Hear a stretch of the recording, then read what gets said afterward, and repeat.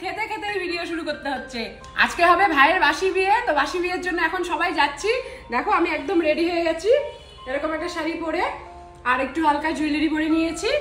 তো এখন সবাই মিলে ওখানে যাব, গিয়ে ওখানে বাসি বিয়ে টিয়ে করিয়ে তারপরে কিন্তু সন্ধ্যাবেলায় নিয়ে আসব। তো চলো, তোমরা আমাদের সাথে দেখা যাক ওখানে কি কি হয়। তুমি ভালো করে থেকো। আমার বিয়েতে পুরো নাচবে হ্যাঁ? দিদার সাথে থাকবে ভালো করে। যেহেতু আগের দিন রাতে বিয়েতে অনেক ধকল গেছে এই জন্য না রুহিকে আর বাসি বিয়েতে আমরা নিয়ে যাচ্ছিলাম না। বাবু মাও না করল যে সারাদিন এত চাপ ও আর নিতে পারবে না সেই জন্য। আমরা সবাই কিন্তু এখন রেডি সবাই বেরিয়ে যাচ্ছে এখন। তো চলো ওখানে গিয়ে বাসি বিয়ের সমস্ত কিছু দেখে নেওয়া রুহিকে না এইভাবে রেখে যেতে আমার খুবই খারাপ লাগছিল।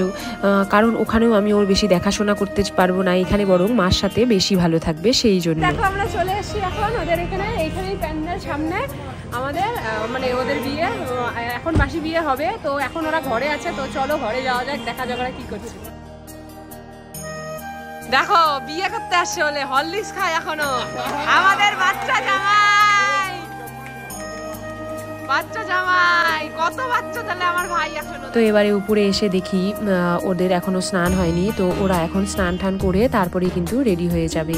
আর তারপর আমরা নিচে উম, চলে এসেছিলাম আর এখানে কিন্তু আমাদের ব্রেকফাস্টটা দেওয়া হয়েছিল। আমরা কিন্তু বাড়ি থেকে ব্রেকফাস্ট করেই এসেছি তবুও জোর করে আবার খাইয়ে দিয়েছি। আমরা এখন চলে গেছি মণ্ডপের এখানে তো এখানে এখন বাসি বিয়ে হবে পুরোহিত মশাই সবকিছু রেডি ফেডি করছে। আর স্টেজ কিন্তু এখন পুরো ফাঁকা। কালকে এসেই একদম অন্যরকম এনভায়রনমেন্ট ছিল। আজকে দেখো একদম কিন্তু অন্যরকম এনভায়রনমেন্ট ওরা ওখানে স্নান টান করে রেডি হয়ে মানে ভাইয়ের বউ মেকআপ টেকআপ করছে। মেকআপ টেকআপ করে তারপরে এখানে আসবে। আর আমরা এখানে গ্যাদারিং করছি।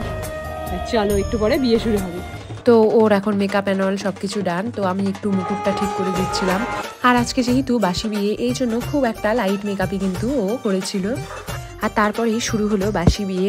তো আজকেই কিন্তু সিঁদুরদান অ্যান্ড অল সব কিছু করা হবে। আমাদের মধ্যে না নিয়ম আছে বাসি বিয়ের দিনই সিঁদুরদান করা হয়। আগের দিন যে বিয়ে হলো সেই দিন শুধু মালাবদল শুভদৃষ্টি এইসব দিয়েই বিয়ে সম্পন্ন হয়েছে। আর আজকে পুরোহিত মশাই যজ্ঞ করবেন এবং আরও অন্য ধরনের অনেক মন্ত্র পড়িয়ে ওদের তারপর কিন্তু আহ, সিঁদুরদান করা হবে। আর আমরা মাঝখানে একটুখানি এইভাবে ডাব খেয়ে নিচ্ছিলাম শরীর হাইড্রেটেড রাখার জন্য। ইভেন এটা ওরাই কিন্তু ব্যবস্থা করেছিল। আর বিয়ে হচ্ছে, বিয়ের বাজনা এদিকে বাজছে, আর আমাদের নাচানাচি কিন্তু আরম্ভ হয়ে যাচ্ছিল। মানে এত মজা হচ্ছিল, কি আর বলব? আর এখন দেখো হচ্ছে পুকুর পার তো আমাদের মধ্যে না একটা নিয়ম আছে, ঠাকুরমশাই একটা ছোট্ট পুকুরের মতো বানায়, আর সেটা বউকে কোলে তুলে নিয়ে বরকে পার করতে হবে। আর সেটা যদি পার করতে একবারে না পারে, তাহলে কিন্তু হবে না। তো এটা না দারুণ এক্সাইটিং একটা ব্যাপার। তো দেখো, এখন কিন্তু সিঁদুরদান শুরু হয়ে গেছে। আর আমাদের মধ্যে না পান পাতার মধ্যে একটা করে সুপারি থাকে, আর সেটার মধ্যে সিঁদুর রাখা থাকে সেখান থেকে একবার একবার করে সিঁদুর পরিয়ে দেয় আর এক পাক করে ওরা সাত পাকে বাধা পড়ে। আর এইভাবেই কিন্তু বিয়েটা সম্পন্ন হয়। ইভেন বর বউ যখন সাত পাকে ঘোরে, তখন তাদের পেছন পেছন তাদের বন্ধু বান্ধব আত্মীয় স্বজন সবাইও কিন্তু সাত পাকে ঘুরতে পারে আর ফুল ছেটাতে পারে। তো এটাই কিন্তু নিয়ম। তো খুবই মজার একটা বিয়ে কিন্তু আমাদের মধ্যে হয়। ফাইনালি বিয়ে কিন্তু ডান এখন যাব বাড়িতে। আর বিয়ে কমপ্লিট হওয়ার পর তারপর আমরা এখন বসে গেছি খেতে। তো খাবারে অনেক কিছু আইটেম ছিল ফিশ মাটন তো এই সমস্ত কিছু। তারপর খাওয়া দাওয়া কমপ্লিট হওয়ার পর আমরা একটুখানি ওদের বাড়িতে যাই।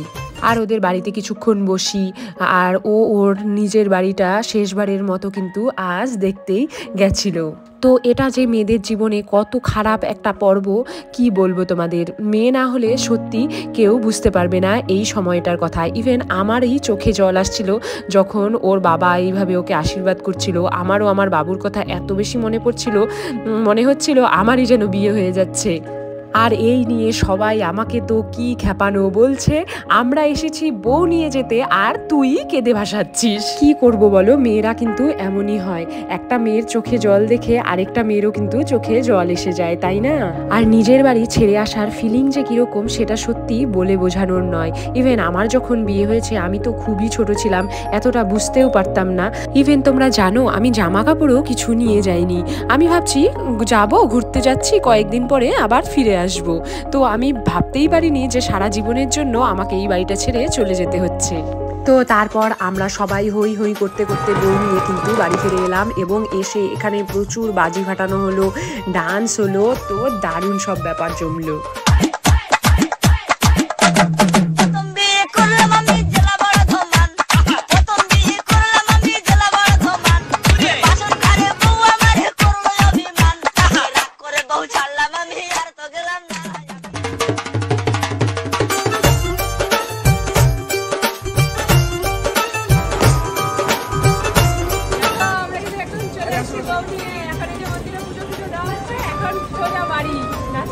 করে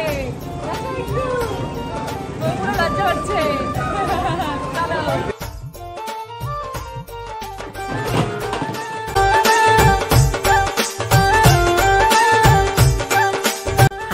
দেখো, পালা এলো গেট ধরাধরি। তারপর তো আমরা এক লাখ টাকা চাইলাম গেট ধরাতে। বাট ভাই তো কিছুতেই দিতে চাইলো না। তারপর আমাদের ভাইয়ের বউ বলছে, ঠিক আছে, পঞ্চাশ হাজার টাকা দিয়ে দাও। বাস, আর কে পায় আমরা? আমরা পুরো ভাইকে দিয়ে ওটাই ফাইনাল করে দিলাম। আর তারপর গেট ছেড়ে ওদেরকে ভেতরে ঢুকতে দিলাম। আর ভেতরেও আবার কিছু বাজি ফাটিয়ে তারপর কিন্তু এখন ওদের উপরে প্রবেশ হবে। এখনই মা ওদেরকে বরণ করে নিয়ে ভেতরে ঢুকবে।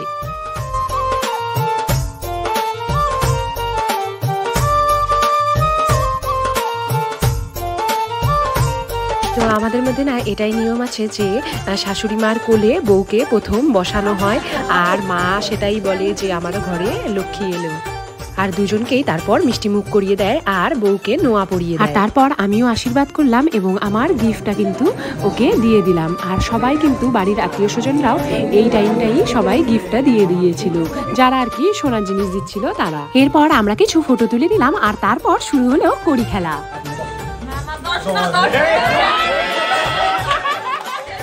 দাঁড়া দাঁড়া চোদ্দ আগে কোন নাকি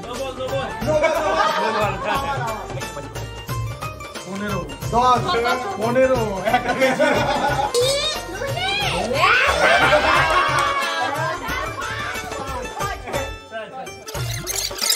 দিলাম দশ